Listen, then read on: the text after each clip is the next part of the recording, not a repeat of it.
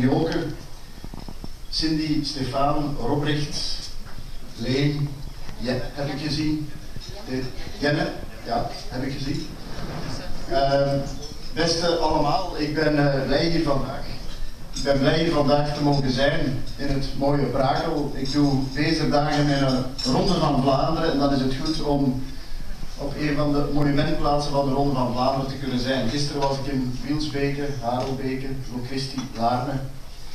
En vandaag ben ik dus hier. toen ik dus morgen vertrok, toen dacht ik, ja, gaan spreken in een voetbalkantine waar Boma OCMW voorzitter is. en ik als lookalike van Markske moet gaan optreden. Je kunt geen beter wijgevoel tot stand brengen.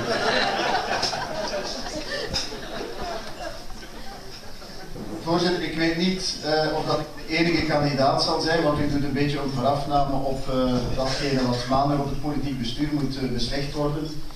Maar ik ben inderdaad wel kandidaat om de volgende drie jaar onze partij opnieuw te leiden. En u heeft gezegd, er komen twee belangrijke verkiezingen aan, 2018 en 2019. En dat is ook zo. We hebben in 2012 en in 2014 ook belangrijke verkiezingen gehad. In 2012 zijn we bij uitstek in Vlaanderen de grootste partij gebleven op het lokale niveau. En dat is de uitdaging, maar ook onze ambitie om dat in 2018 opnieuw te zijn. In 2014 hadden we ook een target. Hadden we ook een target om in Vlaanderen de 20% Vlaams gemiddelde te kunnen halen en om op federaal niveau vooruit te gaan. En we zijn vooruit gegaan. Hier in Oost-Vlaanderen met een lijst getrokken door Pieter hebben we een zetel extra in de wacht kunnen slepen. We hebben dus aangetoond dat we dat kunnen, dat we ambities kunnen realiseren en we zullen dat in 2018 en in 2019 ook doen. En we gaan dat doen op een inhoudelijke manier. Waar een wijs is een weg. De baseline, de signeerlijn, de attitudelijn die we eind vorig jaar hebben gelanceerd. Dat is niet zomaar een campagnelijn. Want er, of een verkiezingsslogan, want er zijn geen verkiezingen op dit ogenblik. Maar het is wel een attitudelijn. Ik vind dat dat nog het best van al allemaal uitdrukt. Een attitude, een houding, een grondhouding. Een grondhouding van wat we zijn en een grondhouding hoe we aan politiek willen doen, maar vooral ook een grondhouding hoe dat we de samenleving zien. Een samenleving die geweldig aan het veranderen is. Dat moet ik jullie niet vertellen. Dat zien jullie in lokale besturen, dat zien jullie in de steden en de gemeenten, dat zien we in Vlaanderen, dat zien we in Europa, dat zien we overal. Maar wel ook telkens een wereld, een kleine of een grote wereld, die meer dan ooit nood heeft aan datgene waar dat wij als christendemocraten voor staan. Een samenleving die goed wil zijn voor de sterken, maar ook sterk kan zijn voor de zwakken. Een samenleving van kansen en verantwoordelijkheden. Een samenleving van rechten en van plichten. Een samenleving waar zich niemand uitgesloten hoeft voelen, maar ook een samenleving waar niemand zichzelf mag uitsluiten. Omdat hij zegt, ik heb de staat, de overheid, de gemeenschap niet nodig, ik kan mijn eigen plan trekken, ik kan wel zorgen voor mijn eigen pensioen, ik kan me dat betalen, ik kan wel zorgen voor mijn eigen gezondheidszorg, ik kan me dat betalen, ik zal wel zorgen voor mijn eigen onderwijs, ik kan me dat betalen. Wel, beste vrienden, dat is niet onze samenleving. Er zijn er die daarop aansturen.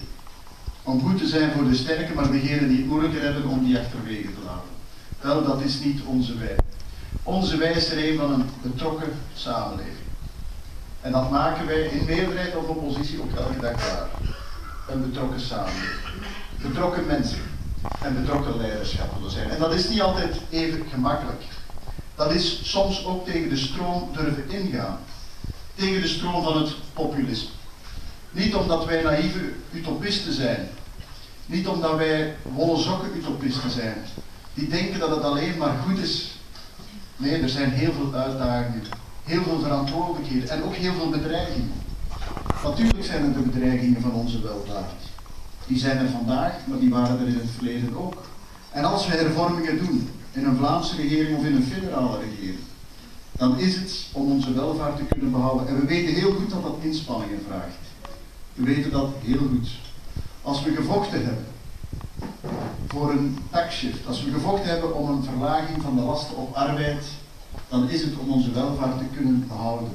En dan is het omdat we dat samen hebben afgesproken. Drie jaar geleden hebben we samen een congres georganiseerd in Lommel. Toen hebben we een aantal fundamentele uitdagingen samen vastgelegd. Toen hebben wij samen afgesproken waar we voor zouden gaan.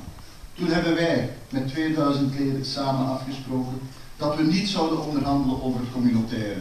Brussel half Vilvoorde, voor degenen die het vergeten zijn, is gespitst. Een zesde staatshervorming staat in de stijgers. Vlaanderen kan aan de slag voor een nieuwe kinderbijslag. Vlaanderen kan aan de slag voor een doelgroepenbeleid op de arbeidsmarkt. Vlaanderen kan aan de slag met een eigen woonbeleid. Enzovoort enzovoort. We willen ons nu focussen op datgene wat voor de mensen echt belangrijk is. En dat gaat erover, hoe zie ik mijn toekomst? Hoe zie ik mijn toekomst vandaag? Hoe zie ik de toekomst morgen? En hoe zie ik de toekomst van mijn kinderen morgen? En dat zijn terechte zorgen.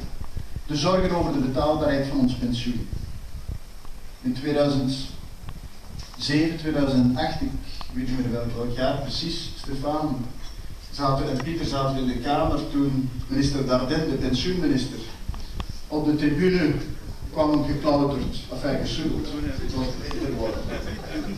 En toen dat hij zei, of lispelde, is ook een beter woord. Ik weet niet of dat pensioenen in 2015 nog betaalbaar zullen zijn. 2015 is intussen gepasseerd. Maar ik vraag wel aan degenen die vandaag gepensioneerd zijn, is uw pensioen ook betaald geworden? Wel, socialisten konden dat niet garanderen, maar wij garanderen dat wel. Maar dat vraagt inspanningen. De inspanningen om de pensioenen te hervormen. Dat vraagt ook inspanningen om bijkomende middelen voor die pensioenen te zien en te verzekeren. Elk jaar, elk jaar gaat er 1,5 miljard euro extra naar de pensioenen ongeveer. Ik weet voor vele mensen zegt dat niks. Wat is dat nu? Dat is onvat, on, onvatbaar. Maar dat is ongeveer zo het budget van justitie. Dat komt er elk jaar bij om onze pensioenen te kunnen betalen. Tussen 2014 en 2019, deze bestuursperiode, gaan we om en bij de 10 miljard euro, 10 miljard euro extra uitdragen om te zorgen dat de garantie voor de pensioenen gerealiseerd zal blijven. En ons recept daarvoor, ook dat we toen op ons congres in Londen samen vastgelegd. Ons recept daarvoor is gaan voor economische groei en sociale vooruitgang. Zorgen dat de competitiviteit van de ondernemingen wordt versterkt. Dat is belangrijk voor de jobs hier. Dat is belangrijk voor onze export. Dat is belangrijk, Pieter, voor onze buitenlandse handel. Dat is belangrijk voor ons allemaal. En de Nationale Bank heeft berekend dat dat 114.000 jobs in 2015, 16, 17 zal bijbrengen. 114.000 jobs, dat betekent voor 114.000 mensen brood op de bank. Dat betekent voor 114.000 mensen een toekomst. Dat betekent ook 114.000 mensen die zullen bijdragen aan onze sociale zekerheid om die pensioenen betaalbaar te houden en om de toegankelijkheid van onze gezondheid te kunnen, te kunnen realiseren. Wel, beste vrienden en vriendinnen, dat is ons antwoord op de vele onzekerheden waar mensen vandaag mee gepaard gaan. Onzekerheden die we niet moeten weggeven. De onzekerheid over de toekomst, en natuurlijk bestaat die er. Die onzekerheden die zullen beantwoorden met datgene wat wij onder het wij bestaan. Datgene wat wij verstaan onder die betrokken samenleving. En ik nodig jullie allemaal uit om opnieuw op het einde van dit jaar opnieuw naar Rommel af te zakken. Verschillende onder jullie waren daar aanwezig. We zullen opnieuw van maart gedurende een half jaar discussiëren.